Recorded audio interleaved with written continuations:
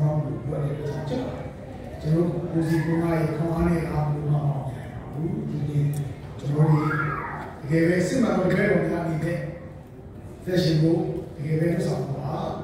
fashion ကိုဘုရားရဲ့ကျွန်တော်အားပေးတိုက်ဖို့သူတင်နှမ်းပြရတယ်ကျွန်တော်ဒီတကယ်ပဲဒီဒီကြောင်းနေတဲ့သက်တာလိုချတဲ့သက်တာ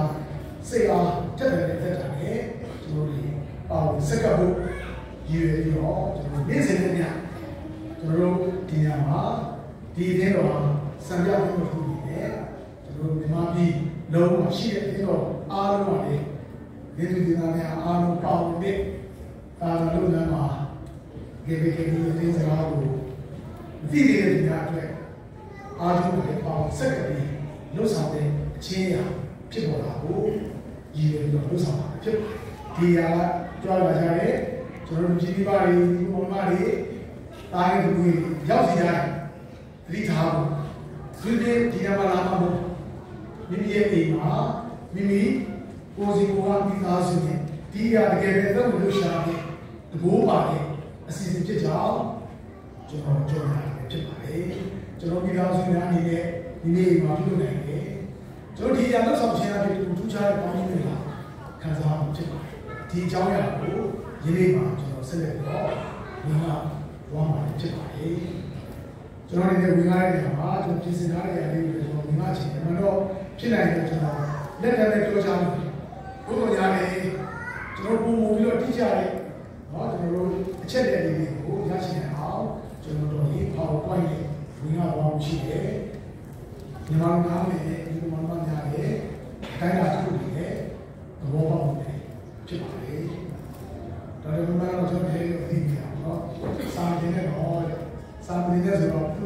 သေးရကျွန်တော်ကလည်းကျောင်းဆရာအဲ့လိုလုပ်တာမစားလက်သေးချင်နော်ကျွန်တော်စားလက်သေးချင်ဆိုတော့ကျွန်တော်ရဲ့ကျောင်းကြီးတော်ချေပြောခဲ့စကားပြီးနေတယ်ဒီစေပေါ်တဲ့တရားဟောနေနော်အချိန်လေးမှာပြောဆိုကျွန်တော်ကတော့တရားဟောမှာမဟုတ်ဘူးစားတယ်ပါအဲ့တော့စားနေတာပဲဖြစ်ဖြစ်တရားဟောတာပဲဖြစ်ဖြစ်ခရစ်တော်ဘုရားရဲ့နော်ခရစ်တော်ဘုရားရဲ့မှာတရားဟောမယ်စားတယ်ပြီးတော့အနာတရားများဖို့ပြောက်ပြီး စင်ပါဖြစ်ပါတယ်။ယနေ့ကျွန်တော်တို့ကြားနာတဲ့လူ့ဘဝဒီစကားရဲ့ခေါင်းစဉ်ကတော့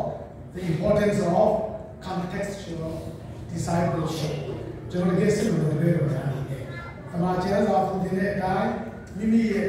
ရှိတဲ့အခြေအနေအတိုင်းတပည့်တော်များတွေကိုလက်ပြချကြဆက်ရှင်ခြင်းမှာအင်မတန်မှအရေးကြီးကြောင်းကျွန်တော်ဒီနေ့ဝင်လာပါဖို့ဖြစ်ပါတယ်။ကျွန်တော်စီနေကြားနေကြတဲ့ကျမ်းချက်တွေဖြစ်ပါတယ်။ ဒီကျမ်းချက်တွေကိုကျွန်တော်ထပ်မံပြီးတော့ပုံပုံနဲ့နားလည်ရအောင်ရှင်းပြချင်ပါတယ်။ကျွန်တော်တို့လှုပ်ဆောင်တဲ့အရာတွေဟာတကယ်တမ်းကျတော့ကျွန်တော်တို့ဘုရားကိုချစ်တဲ့စိတ်နဲ့လှုပ်ဆောင်နေဆိုရင်ကျွန်တော်တို့လည်းဘာမှမမှန်ကြည့်ရရဖြစ်ကြောင်းပြောကြလို့ပါတယ်။ဒီလိုသွား၍လူတို့ကလည်းမာရတဲ့ဖြစ်စီရဲ့ခမဲတော်သားတို့ fashion တော်ဝင်ဝင်နာမ၌ဗတ္တိဇံကိုပေးချတော့ငါဒီလိုအပေးသမျှကိုပညာတော်တို့ကိုစောက်ရှောက်နေခြင်းမှာ သောဘာဝါရပေးချတော့ငါဒီတက်မှာကိုဒီတိုင်အောင်သင်တို့ရဲ့အတူအစဉ်အပြတ်ရှိပြီးဘယ်လိုလဲမိတ်တော်ကြီးကျွန်တော်တို့ခရစ်တော်ရာမိမာရဲ့စကားလေးဖြစ်ပါတယ် therefore go and make disciples မြန်မာလိုကကြတော့သင်တို့သွား၍အဲ့တော့ခရစ်တော်ဘုရားကအမိတ်ပေးသလိုမျိုးကျွန်တော်ခံစားရမယ်ဆိုရင်ဟုတ်ပါဘူးဘောပေါက်ပါတယ်ခရစ်တော်ဘုရားအမိတ်ပေးနေပြီအဲ့တော့ကျွန်တော်တို့လည်းအားရပါမယ် အားရပါတော့ပေါ့သွားချင်သွားမယ်မသွားချင်လည်းမသွားဘူးပေါ့အဲ့လိုလို့ဒီစာသားလေးအပြင်ဂိုးဆိုတဲ့ပြီးခဲ့တဲ့ဘက်ကပြီးခဲ့တဲ့ရက်အင်းကြီးပါပဲကျွန်တော်ဒီဆရာကဆရာကြီးဒေါက်တာဒီဇန်နဲ့ဖွင့်တယ်သူကတော့တကယ်ပြင်ရင်စာလိုရဲ့အတိတ်ကိုဖွင့်လိုက်တဲ့အခါမှာသူဘယ်လိုပြောလဲဆိုတော့ဂိုးဆိုတဲ့အရာကိုတဘောပွားတာအမိတ်ပြီးလို့ခိုင်းတဲ့အရာမျိုးကျွန်တော်သဘောပေါက်ပေါက်နေတယ် သို့တော့တကယ်ခရစ်တော်များဆိုလိုတဲ့အရာက as you go along ဒီပွားရင်းနဲ့အသက်ရှင်ရင်းနဲ့တပည့်တော်ဖြစ်စေအဲ့တော့ကျွန်တော်ယုံကြည်သူတွေဖြစ်တယ်ဒါပေမဲ့ဒီနေ့မှာကျွန်တော်သိရမယ်ဟာကျွန်တော်တို့တွေကယုံကြည်သူတွေတက်ပို့တဲ့တပည့်တော်တွေကလို့ယနေ့မှာအသက်ရှင်တယ်တပည့်တော်တွေကလည်းအသက်ရှင်လာပြီဆိုရင်ကျွန်တော်တို့အသက်ရှင်ရင်းနဲ့ကျွန်တော်တို့လှုပ်ဆောင်ရင်းနဲ့ကျွန်တော်တို့သွားရင်းနဲ့ကျွန်တော်တို့လာရင်းနဲ့ ကျွန်တော်တို့ကျန်တဲ့လူတွေကတပည့်တော်ဖြစ်စေတာဖြစ်ကျွန်တော်သက်ရှိရင်းနဲ့ကျွန်တော်မိသားစုတွေဒီဘက်တော့ဖြစ်လာတာဖြစ်ကျွန်တော်သက်ရှိရင်းနဲ့ကျွန်တော်တို့ဆွေမျိုးတွေဒီဘက်တော့ဖြစ်လာတာဖြစ်ကျွန်တော်တို့သက်ရှိရင်းနဲ့လှုပ်ဆောင်ရင်းနဲ့ကျွန်တော်တို့မိတ်ဆွေတွေလည်းပြတ်တော့ကြားရပြီးတော့ဖြစ်လာကျွန်တော်တို့သက်ရှိရင်းနဲ့သွားလာရင်းနဲ့ကျွန်တော်တို့တစ်ခါမှမမြင်ဘူးလို့ဒီတစ်ခါမှမသိရဘူးလေခရစ်တော်ဘုရားအကြောင်းကိုကြားဖို့လိုအပ်တယ်သူရဲ့ကယ်တင်ခြင်းကိုလက်ခံဖို့လိုအပ်တယ် အားလုံးကျွန်တော်တို့ကြောင့်သူတွေလည်းခရစ်တော်ဘုရားကိုသိရှိယုံကြည်ချစ်ခင်တဲ့လူတွေတော့သူရဲ့အလိုလိုတိုင်းသက်ရှိတယ်သူပြည့်ရဲ့ကယ်တင်ခြင်းကိုရရှိတယ်တပည့်တော်သက်ရှိတယ်ဒီတော့ဒီနေ့မှာကျွန်တော်အာမခံတယ်ကျွန်တော်ဒီအောင်ဒီစံကြည့်ပါဘုရားရဲ့ကောင်းကြီးမင်္ဂလာကိုကျွန်တော်နေ့စဉ်နဲ့အမျှကျွန်တော်တို့တနေ့မှာတနေ့မှာပုံပြီးတော့ သိရှိခံစားဖြစ်ကျွန်တော်သက်ရှင်ရင်းနဲ့ as you go along အသက်ရှင်ရင်းနဲ့ကျွန်တော်တို့ဒီတပည့်တော်များအနေနဲ့တပည့်တော်များဖြစ်လာစေဖို့အများနဲ့သက်ရှင်တာဖြစ်ပါတယ်ကျွန်တော်တို့ဒီပြီးခဲ့တဲ့ကျွန်တော်အသေးတော်ရဲ့အချိန်ကာလနဲ့ပတ်သက်ပြီးပြန်လည်လို့ဖုန်းဆက်တဲ့အခါလူခဲ့တဲ့နှစ်35နှစ်ဒီနေ့40ကစတာတော့ကျွန်တော်ရဲ့အသေးတော်ဆိုပြီးပြီးနဲ့ရော့ရတာပြရတယ်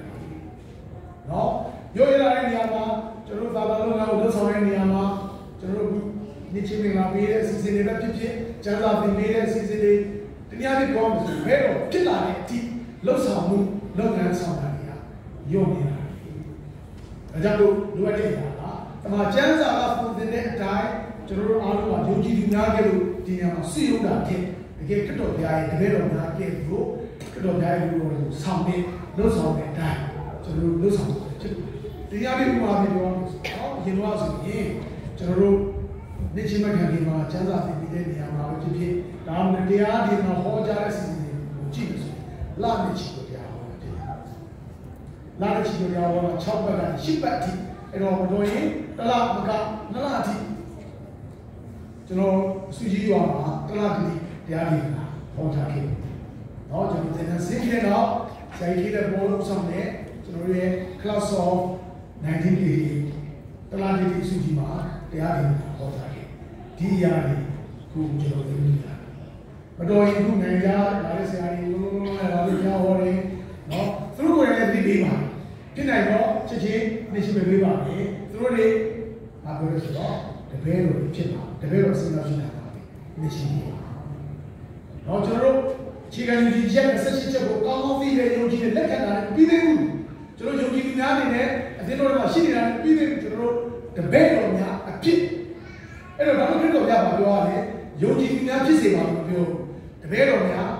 ဖြစ်စေပါလို့ပြောကြတာဖြစ်ပါတယ်ဒါကြောင့်လို့ပဲသမာကျမ်းစာကခရစ်တော်ဘုရားသင်ထားတဲ့အတိုင်းကျွန်တော်တို့ဆောင်နေရဟိုလို့ဆောင်ဖြစ်တယ်အဲ့ဒီအကြောင်းအရာလေးကြည့်လို့ဒီကျွန်တော်တို့ကျွန်တော်သတိပဋ္ဌာန်မိတဲ့အချိန်ပါပဲအန်ဒီတွေဆိုအများကြီးအင်းတော်ကရင်ဆိုင်ရတယ်ကျွန်တော်အခုခုနတင်ပြပါတယ် ပေါ့နော်အထူးသဖြင့် dualism လို့ခေါ်တဲ့အခါကျွန်တော်တို့ယုံကြည်သူများအနေနဲ့ရှိနေတယ်တစ်ဖက်ကလည်းလောကနဲ့ပတ်သက်တဲ့အရာကိုစွန့်နိုင်တယ်ယုံကြည်သူများအနေနဲ့လည်းရှိနေတယ်အရင်တော့ကယုံကြည်တဲ့အရာတွေကိုလည်းမမေ့မကြောက်ဘူးမစွန့်လို့သေးဘူးအဲ့ဒီအရာတွေကယနေ့အချိန်မှာကျွန်တော်တို့ယုံကြည်သူတွေထဲမှာရှိနေပါတယ်တနည်းအားဖြင့်ဥပမာပြပြောပြမယ်ဆိုဘူးနောက်နိုင်ငံမှာဆိုရင် research အရာ research အရာနောက်သူတင်နာပြုလုပ်ထားတဲ့အရာ40ရာခိုင်နှုန်းကိုယုံကြည်သူပါတယ်ဒါကျွန်တော်သိတော့လည်းဖြစ်နေတာတော့စာရဏနာဟာတကယ်မရှိဘူးဒါတော့ပုံဆောင်တာပါပဲဒါလည်းမကဘူးနောက်ထပ်10ရာခိုင်နှုန်းကျော်ကလည်းအဲ့ဒီသဘောမျိုးသူတို့ဇဝေဇဝါလေးရှိတာအဲ့ဒီသဘောမျိုးလေးကိုလက်ခံကြတယ်တနည်းအားဖြင့်ပြောမှဆိုရင်59ရာခိုင်နှုန်း လောက်ကလူတွေကတကယ်တမ်းစာရမဏမရှိဘူးဒါအတော့နိုင်ငံအဲ့တော့နောက်နိုင်ငံမှာဆိုရင်ဘုရားလည်းမရှိဘူးစာရမဏလည်းမရှိဘူးအဲ့တော့ဒီလိုအခြေအနေမျိုးတွေမှာကျွန်တော်တို့ဒီ contextual disciple များရဲ့သူအသက်ရှင်ဖို့တကယ်အခြေအနေဒီလိုအခြေအနေမျိုးမှာတကယ်ပဲစစ်မှန်တဲ့ကမှာကျမ်းစာကပုံသင်ထားတဲ့အသက်ရှင်ဖို့ဟာစာရမဏတွေရှိတယ်ဆိုတော့ပုံသင်ဖို့လိုအပ်တယ်အခုကျွန်တော်တို့အခြေအနေယူချက်တွေမှာဆိုရင် the great controversy ဖျားနဲ့မာနတိုက်တယ်လို့ရှိတယ်ဖျားနဲ့စာမဏတက်တဲ့ဝင်ရှိတဲ့နေရာမှာကျွန်တော်တို့ဘက်ကနော်